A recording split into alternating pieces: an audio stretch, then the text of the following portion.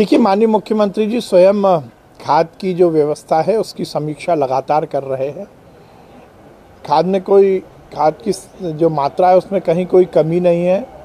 लगातार किसानों को उचित मात्रा में समुचित जितनी उनकी ज़रूरत है, उतनी और समय से खाद मिल सके, इसकी संपूर्ण व्यवस्थाएँ की गई हैं।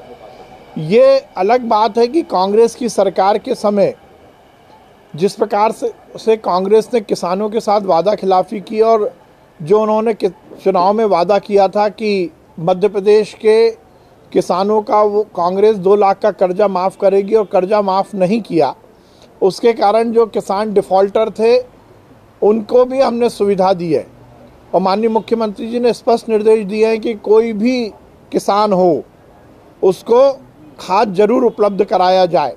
नगद में खाद पूरी तरह से कैश में खाद सभी को मिल रहा है और कहीं भी कोई दिक्कत नहीं है। माननीय मुख्यमंत्री जी स्वयं इस विषय में लगातार केंद्रीय रसायन और फर्टिलाइज़र मिनिस्टर मनसुख भाई मांडविया से लगभग रोज बात करते हैं और खाद की पूरी तरह आपूर्ति हो सके और उसका डिस्ट्रीब्यूशन भी ठीक ढंग से हो सके, इसकी समुचित व्यवस्था की जा रही है।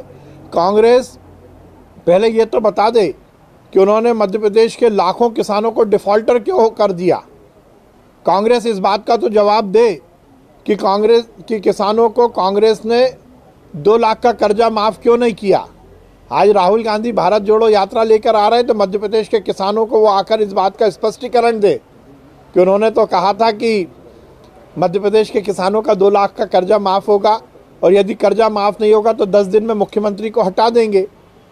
इस बात का वो जवाब दे किसानों को जो भी दिक्कत आई है, उसकी जिम्मेदार कांग्रेस है। कांग्रेस ने किसानों के साथ छलावा किया है। किसानों को जो चुनाव में वादा किया था, वो पूरा नहीं किया। कांग्रेस को इसका जवाब देना चाहिए।